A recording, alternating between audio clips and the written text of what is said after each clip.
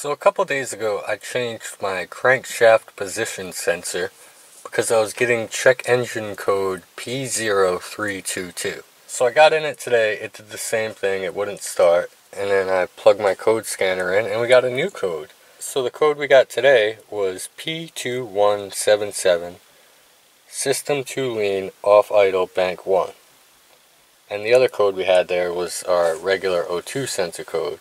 Using the Ross-Tech website, Bank 1 System Too Lean Off Idle, it could be a few things. Fuel pump, mass airflow sensor, which we've replaced recently, the intake system leaking, the exhaust system leaking, wrong fuel pressure sensor, which that should be the same, we haven't touched that, mass airflow disruption.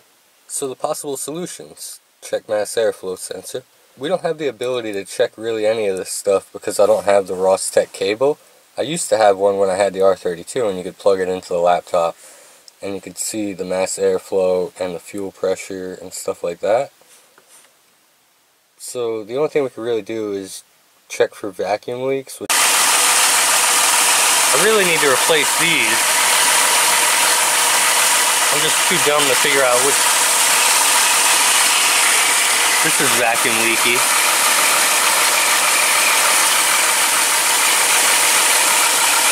I've replaced the T on that one before. That's why I don't have the strut tower brakes in here. Because I need to replace all these vacuum lines and I just haven't done it yet. Alright, I don't know if the camera's going to pick it up, but this is a vacuum leak. You can hear when my finger touches that. So let me explain what's going on here. All of these hoses are plastic and they mount to the body, which doesn't move. So then they go over here to the engine and mount. So these little parts right here that are crinkly like a straw, those are probably supposed to move and flex a little bit when the engine moves. But when they're 20 years old, they're just brittle and broken. So today I got hose to fix all these vacuum lines, or those two at least with the aluminum shielding and this PCV breather hose we're gonna replace that. We got some one inch line we're gonna try. And I think the problem is that I have three or four different issues going on at once. So I've always had vacuum leaks. And then we got the crankshaft position sensor code.